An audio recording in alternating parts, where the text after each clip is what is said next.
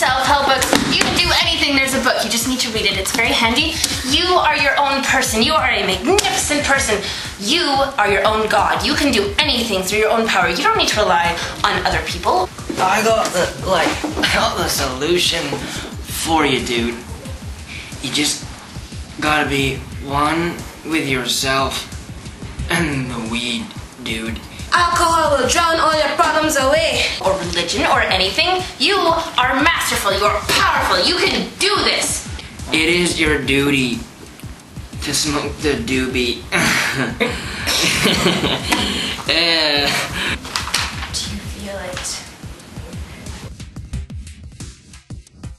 uh, dude. All you have to do, man, is take this and just just take a little piece of paper and you and you roll it up, uh, just like that, and you become one with yourself, dude.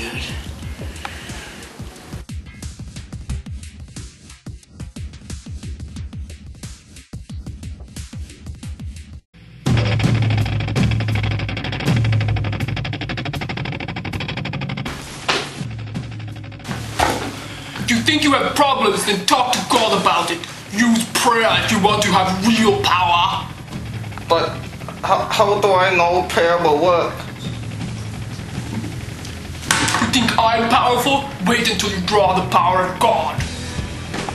Oh, oh, okay. I'll give you a chance.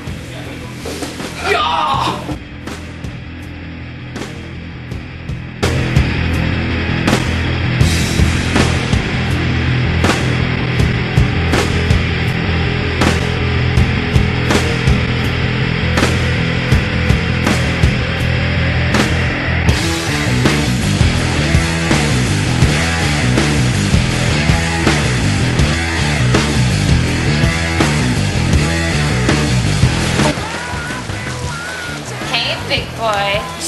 You don't want me?